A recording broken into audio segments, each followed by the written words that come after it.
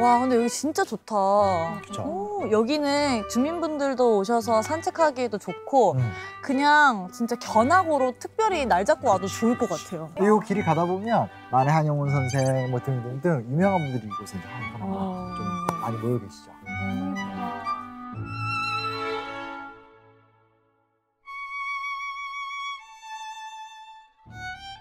아 근데 요즘에 응. 아니 요즘엔 아니고 갑자기 갑자기 갑자기라뇨. 갑자기 역, 항상. 갑자기 갑자기 역사 소녀로 바뀌었는데 아이고. 안창호에 대해서 좀 알아요? 모르면 안 되죠. 아, 그리고 제가 저 헤어 메이크업 하는 샵이 도산공원 근처에 있어요. 예.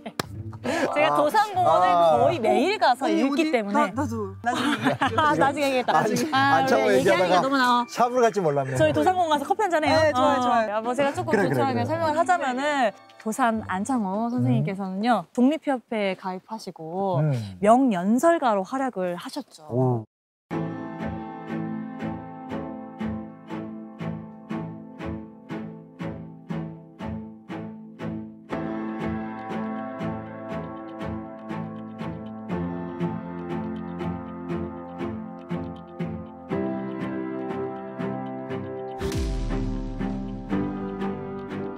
신 백성 민자를 써서 새로운 백성의 뜻을 모으자 해서 신민회를 어? 조직하시고 그리고 이제 어, 민족 부흥을 하자 해서 어. 흥사단을 또 조직을 하십니다. 어. 예.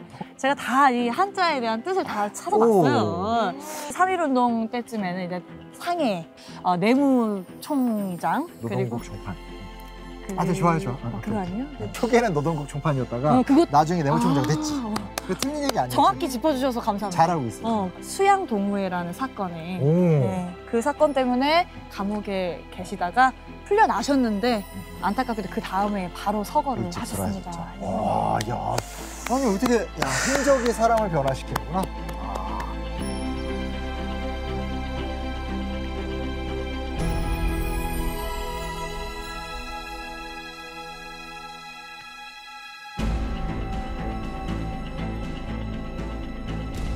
자, 다 왔어요. 이름 보이죠?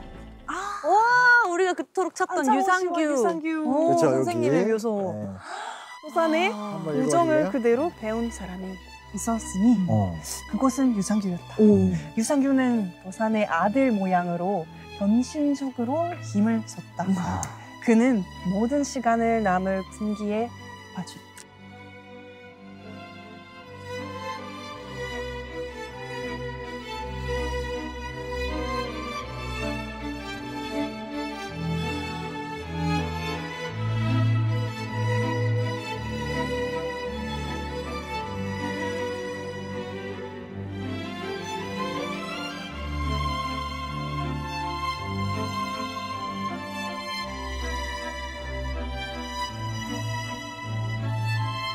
이야. 위에 안창호 선생님 여기 있고. 계시고 네.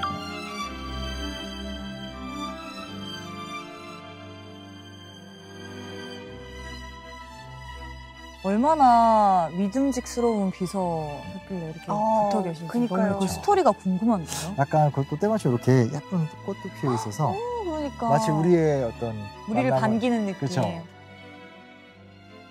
우리 역사에 사실은 제일 중요한 음. 사건, 독립운동사의 가장 중요한 사건이 뭐예요?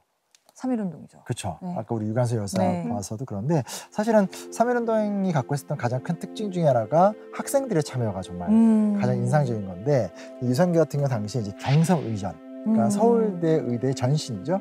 그 학교 학생 출신이었고 당시 서울 지역에서 체포됐던 학생들 중에서 경선 의전 학생 수가 30여 명, 어. 굉장히 많은. 그래서 관련된 좀 기록이 하나 남겨져 있는데 오, 네. 이거 좀 한번 읽어봐 주세요. 어. 유산규는 종종 우리에게 시위 과정에서 알아야 할 국기, 전단, 행진 등에 관한 소식을 전해주었다. 음. 마침내 그는 3월 초하루 오후 2시에 종로의 파고다 공원에서 거사가 이루어진다는 중요한 소식을 갖고 왔다.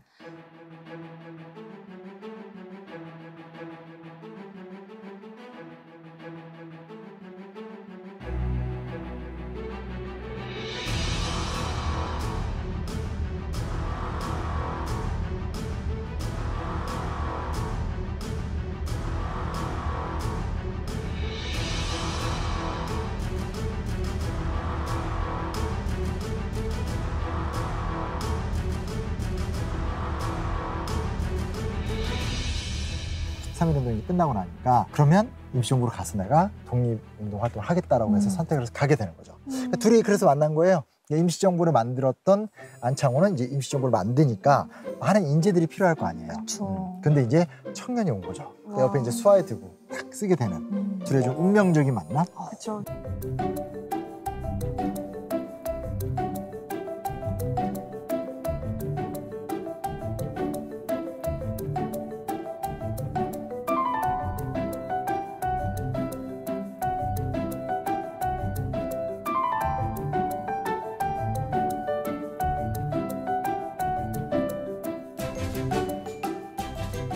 임시정부 공간에서 공간을 나눠서 이제 본인 사무실 그리고 우리 때가 정말 아끼는 상규방 음. 또 다른 친구의 방 회의하는 방 자기 돈도 맡겨주고 비서가 있다가 되니까. 그렇죠, 그렇죠, 그렇죠. 비서라면. 그, 그 얘기가 왜 나왔냐면, 이 당시 이제 임시정부가 초, 처음에 만들어졌을 때, 네. 이 연통제 교통국 같은 약간 낯선 이름들인데, 어떤 그런 조직이 만들어져요. 음. 그래서 이제 임시정부도 독립운동 하려면 돈이 있어야 되잖아요. 그쵸. 또 수많은 인재들이 계속 이렇게 와야지만 정부가 운영되니까, 연통제 교통국 같은 것들이 국내와 이 상하이에 있는 임시정부를 이어주는 매개체예요. 아. 제일 중요한 건 자금.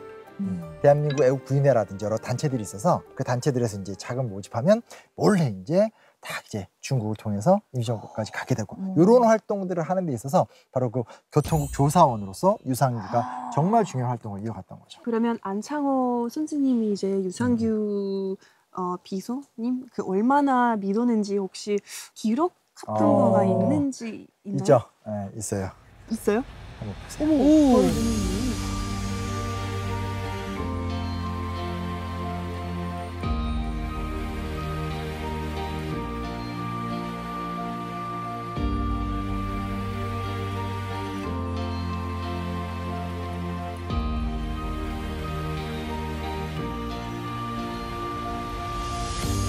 와, 약간 로맨스.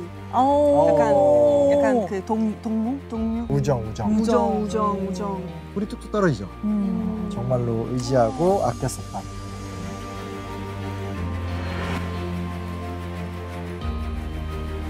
근데 이제 실제로 좀 안타까운 건 우리가 이제 임시정부 만들어졌다는 얘기 많이 하는데 그 이후의 이야기를 거의 안 하잖아요. 음. 근데 문제가 1923년에 임시정부 내에서 갈등이 깊어져요.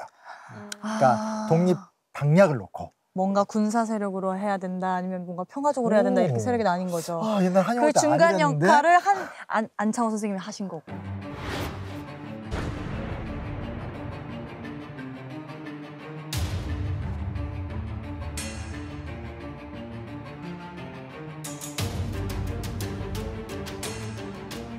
그 사건을 우리가 국민대표회의라고 얘기하는데 어. 그 회의가 실패하게 되면서 임시정부 사람들이 거의 떠나요. 아. 안창호 선생도 잠시 좀 임시정부랑 거리를 두거든요. 네. 할 일도 없어지고 음. 그리고 무엇보다 유산규 같은 사람은 진짜 인재잖아요. 그쵸. 경성 의전 의학을 배웠던 친구이기 때문에 결국 권유하죠.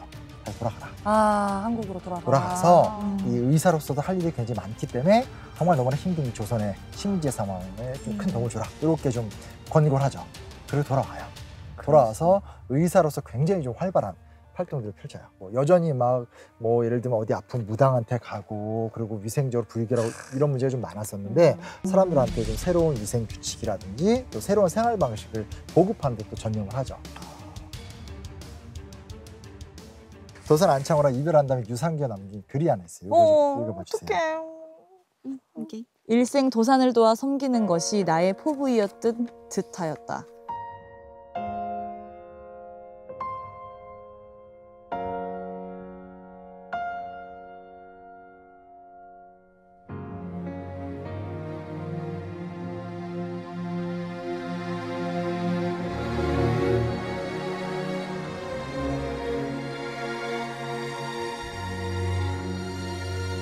뭔가 영영 이별할 것만 같은 느낌을 감지하신 것 같아요.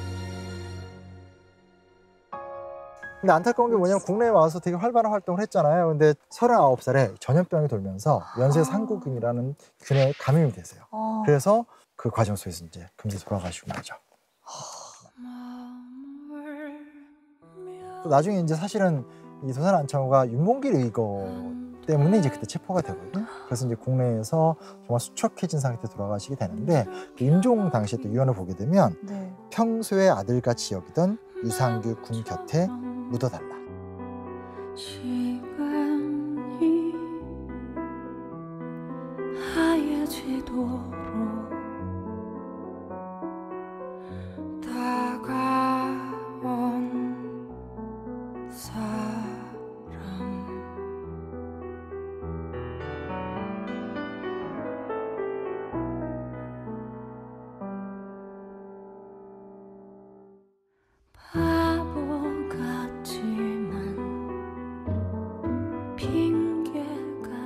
지금도 이 관계가 느껴져요. 얼마나 어. 기뻤는지 이렇게 바로 옆에 묻어달라라는 게 진짜 원래 막 와이프 뭐 가족끼리 이렇게 그러니까 하잖아요. 그렇죠. 한번 저희 안창호 선생 묘도 한번 올라가 볼까요? 가시죠.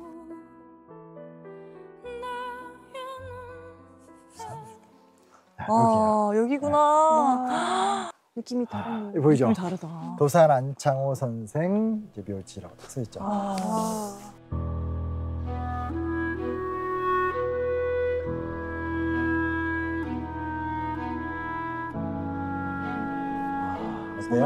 아래. 바로 밑에 보여요. 와. 바로 밑에 안창호 선생님께서 바로 보실 수 있는 딱 자리. 근데 뭐 약간 이상하지 않아요, 근데? 왜요? 뭐가요?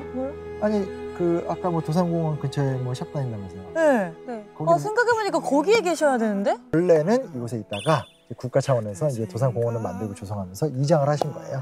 그래요. 아. 근데 여기가 또 약간 병으롭고 조용하는데. 그 여기는 이제 의미를 기리는. 그렇죠. 허묘라고 해서 음. 원래 이곳에 계셨던 곳이니까 그대로 이제 조성을 해놨는데 실제로 이제 어, 시신 자체는 이제 그쪽으로 이제 옮겨져 있는. 처음에는 이 묘 만들고 나서 난리 났었어요. 왜요? 왜냐면 어. 일제 강점기 때도 사실 가장 대표적인 독립운동가여서 그가 이제 여기에 죽어 있다는 사실 그 자체에 대해서 이제 수많은 사람들이 와서 조문을 하려고 할 거 아니에요. 아. 모이면 일제 입장에서 위험한 거잖아요. 그쵸. 자기들끼리 모여서 막 분노와 의기를 불러일으킬까봐 어. 다시 경찰도 배치하고 일일이 감시도 하고 한 1년 정도를 그런 식으로 철저하게 통제했다고 하더라고요. 우리 입장에서는 정말 대단한 분이시네요. 그렇죠.